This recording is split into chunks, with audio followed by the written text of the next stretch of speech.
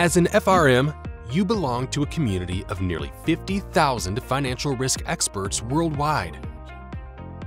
Here are three ways you can leverage this highly respected certification to validate your expertise and impact your career. First, add the FRM Digital Badge to your LinkedIn profile. Log into your GARP account, look for the section with the digital badge, then follow the instructions for adding it to your LinkedIn profile.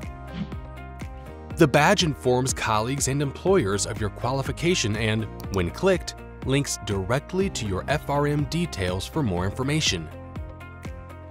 Second, use the FRM designation letters after your name on your business card, email signature, and corporate profile. And if you are a recognized subject matter expert, include the FRM designation when submitting your biography for publications or speaking engagements. Third, advocate for the FRM certification within your company. Championing the FRM raises awareness of the certification's value among HR and training departments and further establishes you as a financial risk management expert.